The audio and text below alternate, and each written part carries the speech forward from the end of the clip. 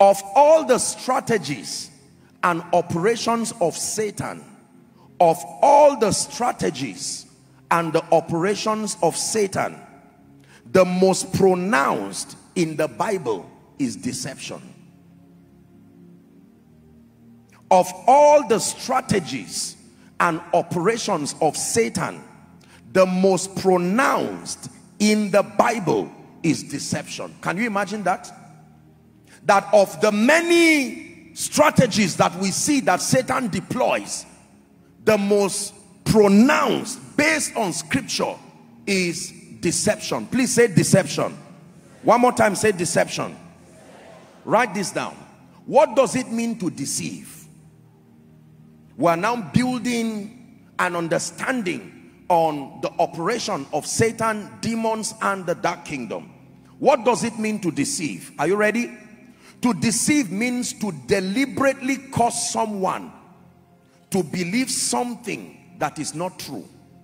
To deceive means to deliberately cause someone to believe something that is not true, comma, usually for personal gain or to take advantage of. I'll take it again. To deceive means to deliberately, underline the word deliberately please. To deceive means to deliberately cause someone to believe something that is not true. To deliberately cause someone to believe something that is not true comma usually for personal gain or to take advantage of. We're defining deception now that to deceive means to deliberately cause someone to believe something that is a lie is not true.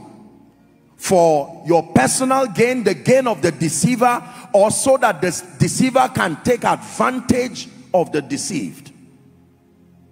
Of all the operations of Satan the most pronounced according to scripture is deception that means he is a master. He has mastered the art of making people believe what is a lie. And by causing them to believe it he can take advantage of them. Lest Satan should take advantage of us. Because we are not ignorant that he is a deceiver. And that the only way he takes advantage of believers is when he brings you to a point where you believe and are convicted in something that is not true powerful write this down are you learning deception which is the same thing as falsehood.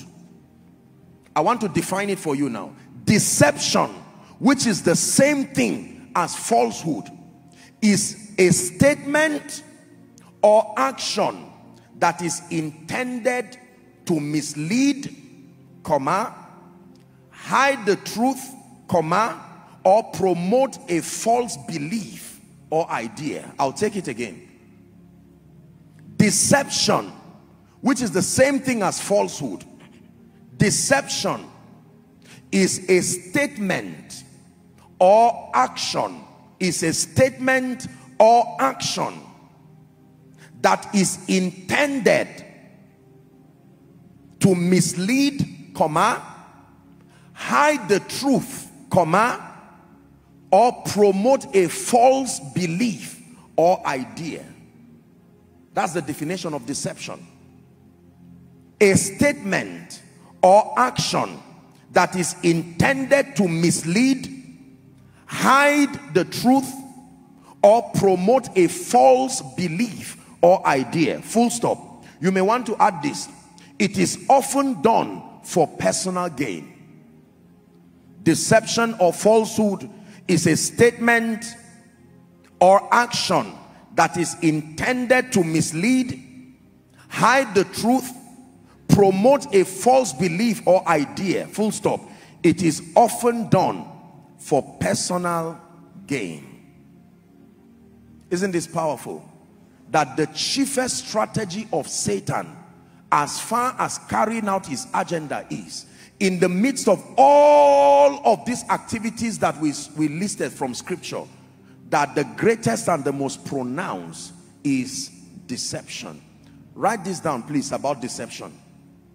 Very important point. Deception cannot happen until the deceiver is aware of the truth. Wow. Deception cannot happen until the deceiver is aware of the truth. It's impossible for deception to happen until the deceiver is aware of the truth. Because the assignment of the deceiver is to make the deceived to not understand or not receive the truth. That means for you to be a deceiver, the qualification to be a deceiver is that you must have access to the truth. Deception cannot happen until the deceiver, in this case Satan, is aware of the truth.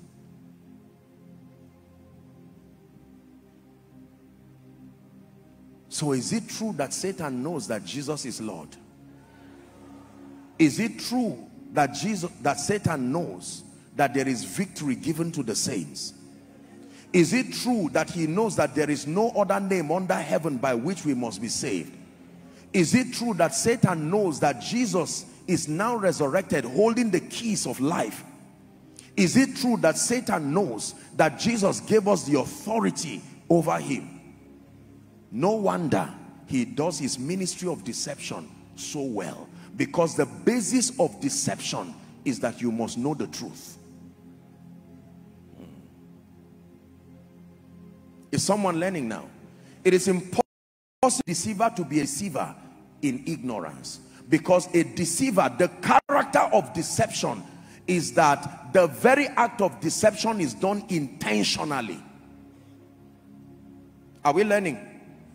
Now, let's take a structured biblical study. I wanted to read a few scriptures that talk about deception, but we'll jump it for the sake of time. I want us to take one case study. We're studying now how Satan operates. Are you ready? We want to take one Bible story and then we'll examine it closely. And I taught you here that theologically speaking, there is what we call the law of first mention. That every time you want to study a subject, a thought, or an idea, your first assignment is to go to where it was first referenced in scripture and understand the contextual explanation or usage that becomes your interpretation everywhere that word or that thought is used. Is that true? So we'll go to genesis but before then let's look at two or three scriptures. John 8 44 john 8 44 let's start from where we left off. Jesus is speaking now and jesus himself said a few things that are very interesting about the devil. Ye are of your father the devil and the lusts of your father ye will do. He was a murderer when he was a murderer from the beginning and abode not in the truth. Do you know what this means? Jesus did not say he was ignorant of the truth. He says he refused to abide, to live in the truth. He willfully came out of that realm of truth. He abode not in the truth because there is no truth in him. When he speaketh a lie, he speaketh of his own, for he is a liar and the father of it. Keep that scripture. Second Corinthians 11 3. 2 Corinthians 11 3. But I fear, Apostle Paul is speaking to the church in Corinth, lest by any means, as the serpent beguiled Eve, so Apostle Paul here is using a story to show us the deception of Satan. Are you seeing where Paul is leading us to now? Paul is saying if you want to study the deception of Satan, study what happened with Satan and Eve in the Garden of Eden because he's saying Satan will still use that strategy against you. Are you seeing now? He's saying just as Satan beguiled Eve through subtlety, he will also come to you and do something to you the same way he worked with Eve. Do you know what he's saying? He's saying when it has to do with that strategy, it is his master strategy. He will not change it. You study Satan's operation by studying what happened between him and Eve. First Timothy 2 and verse 13, where you read and laughed. Now I hope you don't laugh again because we're getting into a very serious discussion now. For Adam was first formed, then Eve. Do we believe this? Verse 14. And Adam was not deceived, but the woman being deceived was in the transgression. Journey with me, ladies and gentlemen. Let's go to the book of the beginnings and see what exactly happened there. Genesis chapter 3. Story, story. Now the serpent was more subtle than any beast of the field which the Lord had made. And he said unto the woman, now when you read this, you will think it's just something that happened immediately in a matter of minutes. The Bible is written in summary. And so it does not give us the, the depth of the discussion because this is not just something that happened within minutes. I told you that in studying scripture, you have to use the mind of literature. You have to use the mind of a historian. You have to use the mind of an archaeologist. And then you have to use the understanding of a spiritual man. These are the four components you need to thoroughly study scripture. If all you have is the mind of a spiritual man as powerful as that is you will not really understand the bible. Because the bible has a literature component the bible has a historical component the bible has an archaeological component and then it has largely a spiritual component. Are we learning? Now watch carefully please. We're studying satan now. And he said unto the woman yea had god said ye shall not eat of every tree in the garden. Now please listen carefully Go back to verse 1. Do you know why Satan came to the woman directly to talk to her? It's not because she was female. Mm -mm. There was something about the structure of dominion. Are you getting the point now? That when God gave man dominion, in the Garden of Eden, it was very clear that even though Adam and Eve as spirits had dominion, but based on that earthly structure within the family context in the garden, Adam and man was head over her. Are we together now? And Satan would not come directly and attack the head. But he knew that there was a connection between Adam and Eve. There was something he understood that he would not be able to easily deceive Adam. But he knew that based on that structure, there is a connection between Adam and Eve and the connection is love. And that genuine love is love that comes with sacrifice. So he didn't need to deal with the man. He was not dealing with the man simply because he knew that once he got the woman the love the man had for the woman would be why he would fall. So he didn't have to waste his time there. Are you getting the idea now?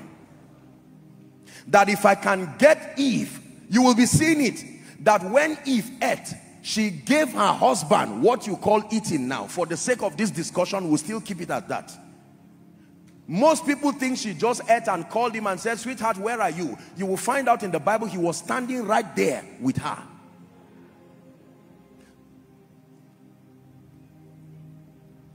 He fell because of love. The Bible says Satan came and met the woman.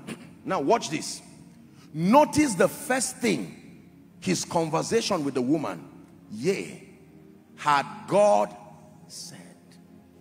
Can you imagine? The beginning of his discussion mentioned God. Satan, look at the structure of his deception. Had God said. That means I told you that deception cannot work until what is true is known. Are you seeing the pattern here now?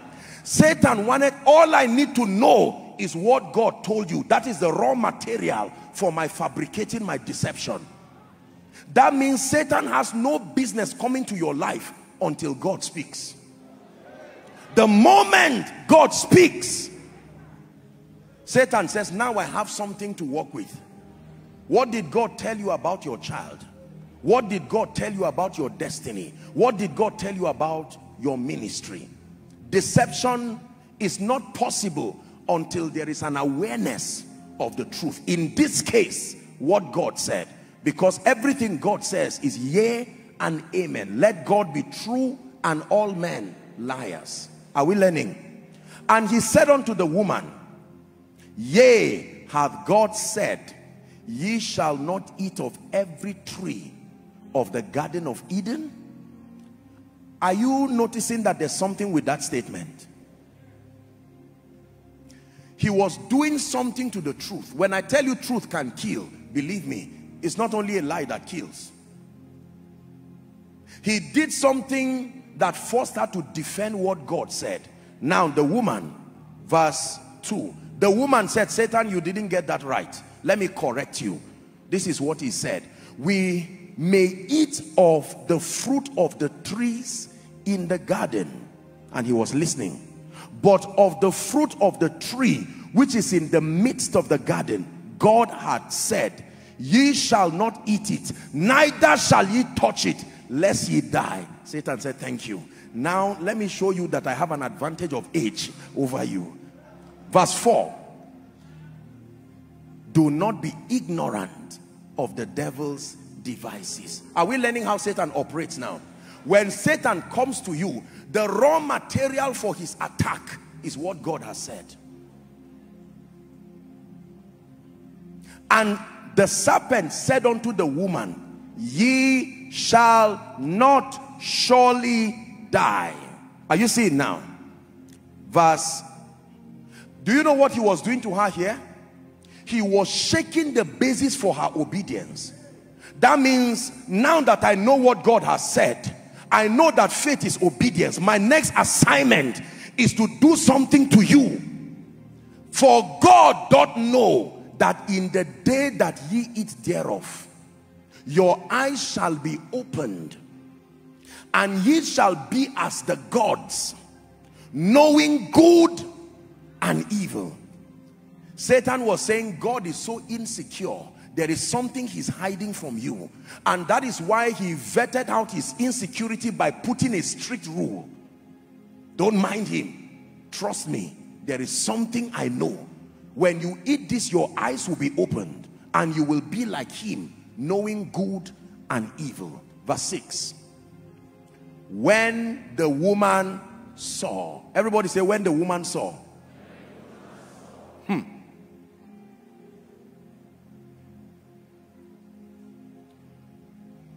the discussion started by saying but by the time we get to this point she has perceived Saw there does not just mean eyes. She has conceived as a reality. The woman did not fall by eating the fruit. Eating the fruit was proof she had fallen. This was where the fall started. Perception.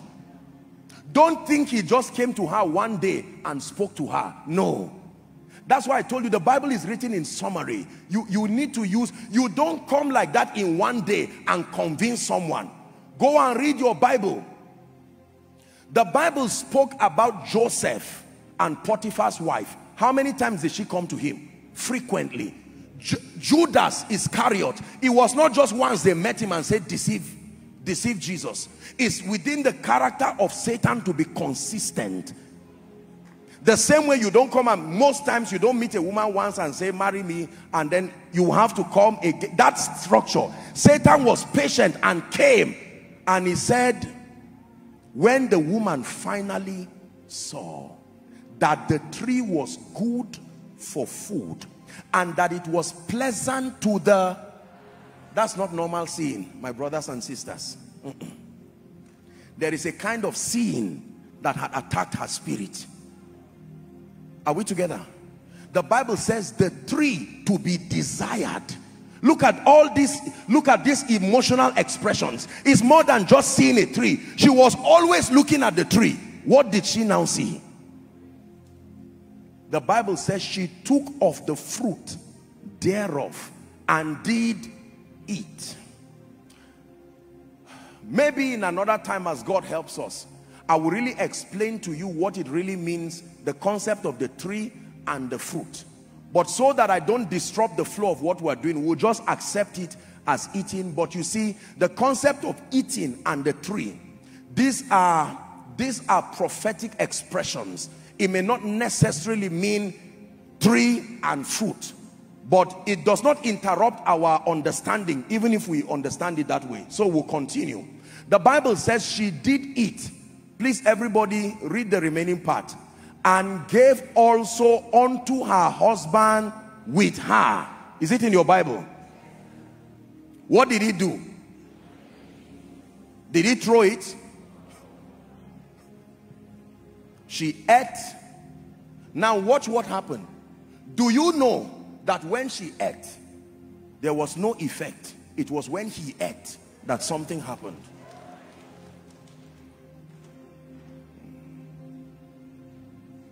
Because the sheep only scatters when you strike the shepherd. She ate and she gave him. Ate from deception, he ate from love. In any case, they ate.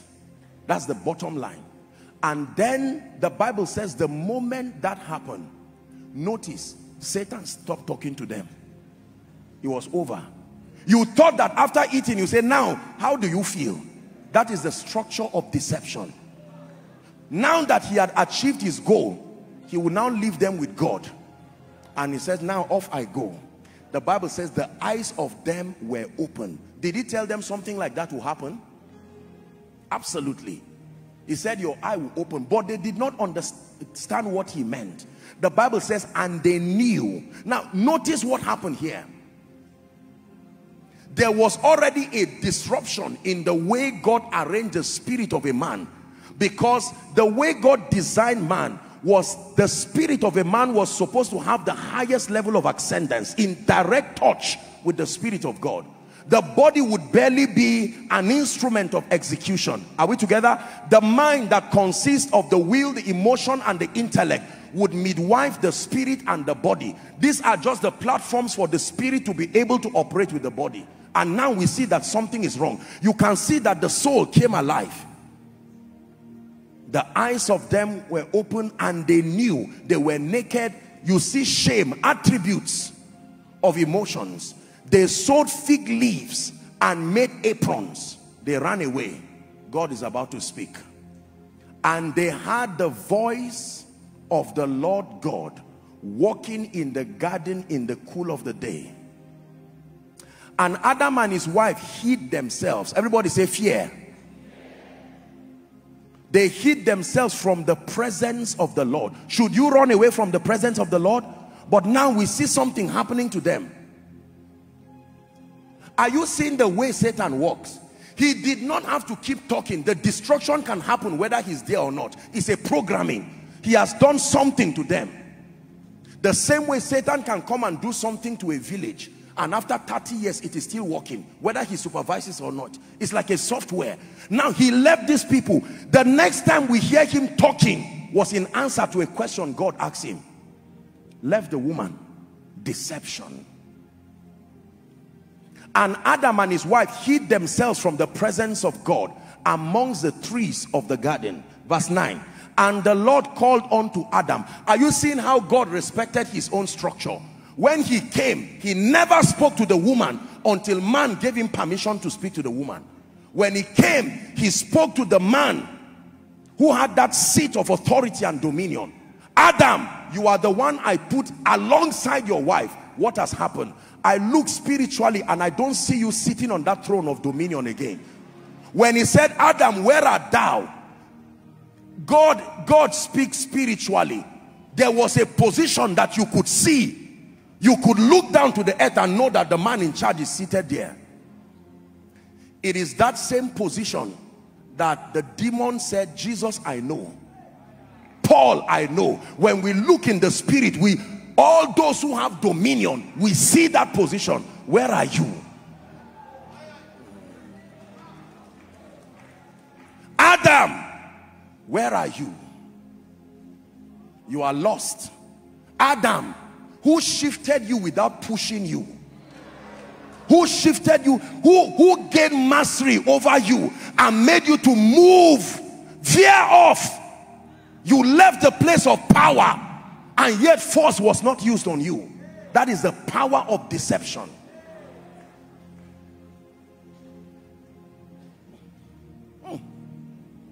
I overcame. Hallelujah. He won the victory. Hallelujah. I overcame. Hallelujah. I overcame. Hallelujah. Listen. Are you seeing what Satan did? They thought it was just a conversation. They did not understand the spiritual implication. Adam, I checked the place of authority and you are not there. Where are you? This is a tragedy that came upon men. You need to learn this because he's coming and he will use the same thing. Remember the structure. What did God say? God did not mean what he would say and he will keep coming to you every day. He knows that persistence is powerful. Satan does not speak once. Let me tell you how he speaks. He uses words he uses men he uses things he uses pain. He's still the one speaking. He will employ everything until he shifts you from that place. There is a place where when you stand adam now let me teach you something powerful for as long as man did not cooperate with Satan, Satan looked powerless. He was with them and could not touch them. He was with them and could not touch them. The power of Satan is in your falling for his deception. There was absolutely nothing he could do to Adam and Eve. The best he could do was speak. He had to depend on their seeing and they are participating with his lies.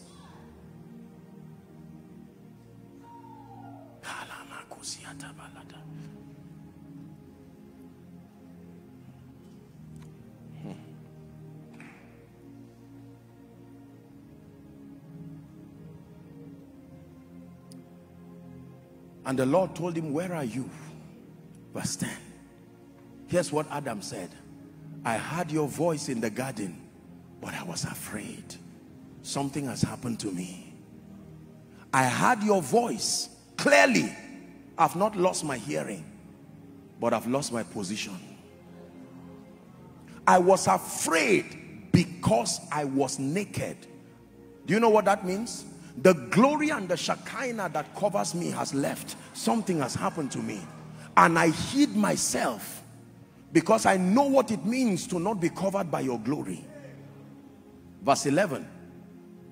And he said, who told you that you were naked? Every time God comes to rescue you, the first question is who told you? You have opened up your ears to another influence. That means in any case, whether you are restored or you are deceived, it is based on what you were told. Now understand the power of words.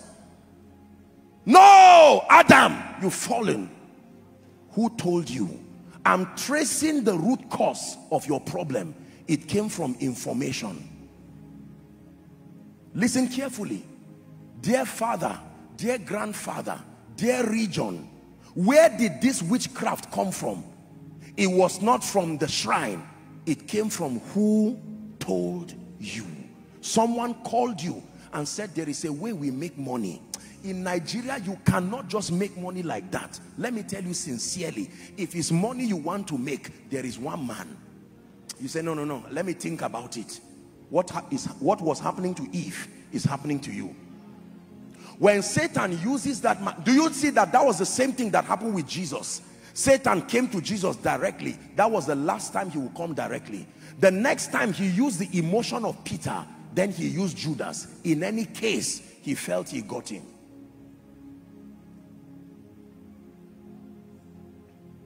Who told you that you were naked? Have you participated with what you heard? Did you do something about what you heard? Because every word we hear does not profit us if we don't mix it with faith. No matter what it is that you hear, if you have not mixed it with faith, the Bible says it will not profit those who hear it. So if Satan says kill yourself, it remains as a thought for as long as you don't act on it. Wow. If you wake up from a dream and in that dream you see an accident and all of a sudden you allow fear and you start thinking, that is Satan speaking. So this is how I would die. You are receiving it. You may not know. You don't receive by your hands alone. The principal way of receiving is your mind. You only have with your hand. You receive with your spirit. You receive with your mind. Hast thou eaten of the tree whereof I commanded thee that thou shouldn't eat? The first demonstration of irresponsibility as recorded in the Bible. Are you ready? And the man said, the woman, is that the answer? Adam, have you eaten of the tree? Yes or no? What was his answer? The woman.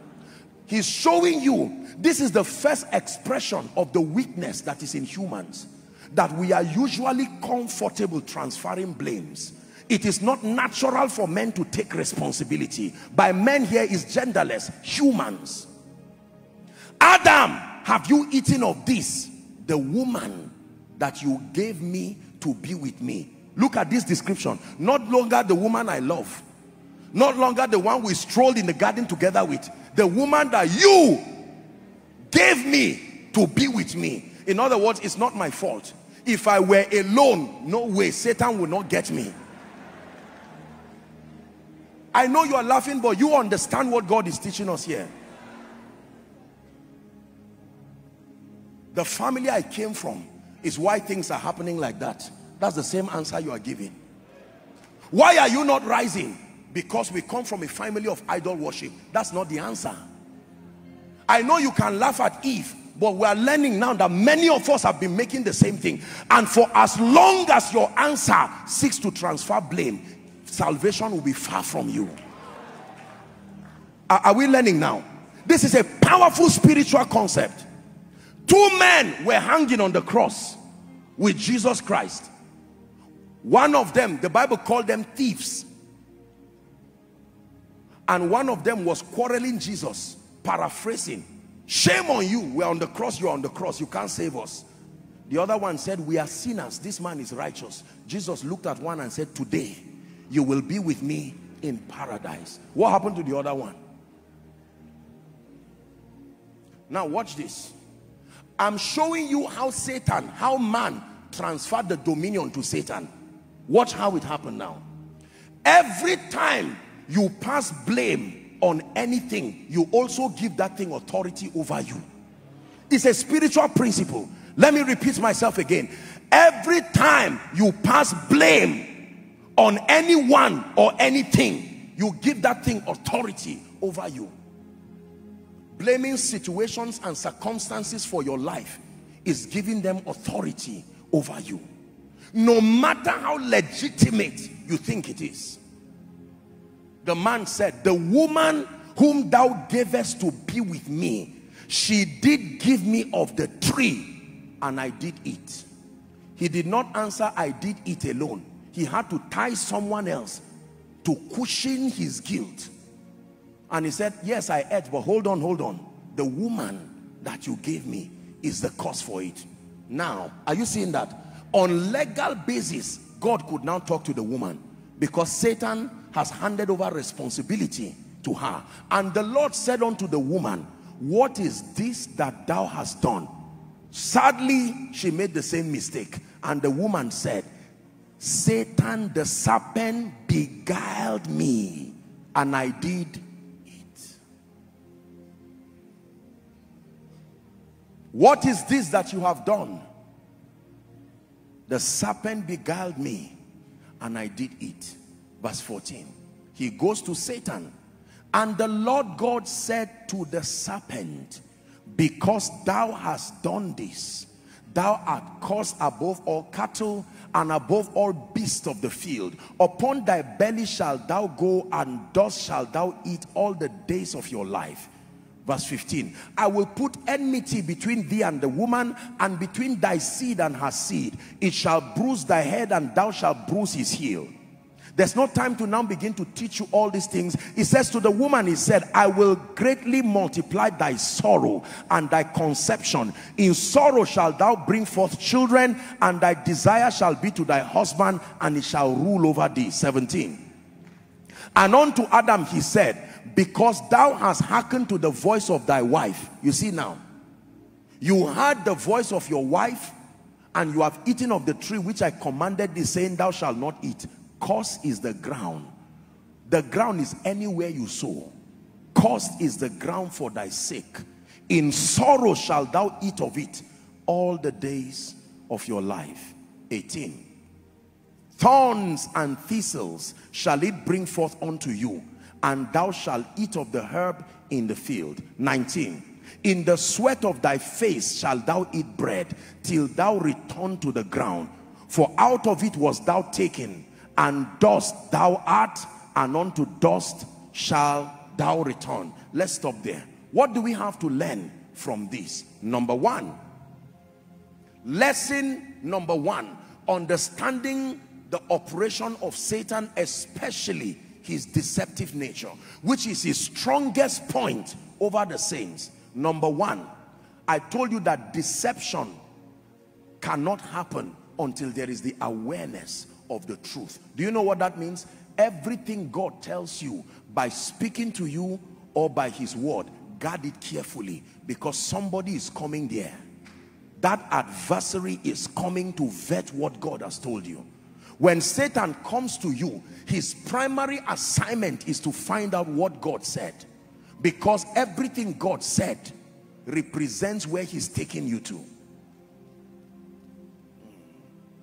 Lesson number two. Are you ready now? Guard your heart with all diligence, for out of it comes the issues of life. Guard your ear gate, guard your eye gate, because these are the principal channels through which Satan speaks. Can I tell you this? If you think Satan will always appear to you and talk to you, it may not always happen like that. But he will use your ear gate he will use your eye gate because these are the principal gates to your mind. Very soon you understand what Paul was teaching in his Pauline epistle. Is God helping us tonight?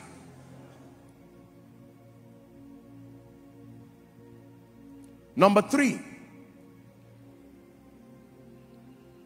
faith comes by hearing and hearing and hearing and understanding it is not just faith towards God comes by hearing the word of God, but faith towards anything comes by hearing the word of that thing. Faith towards destruction comes by hearing the word that makes for destruction.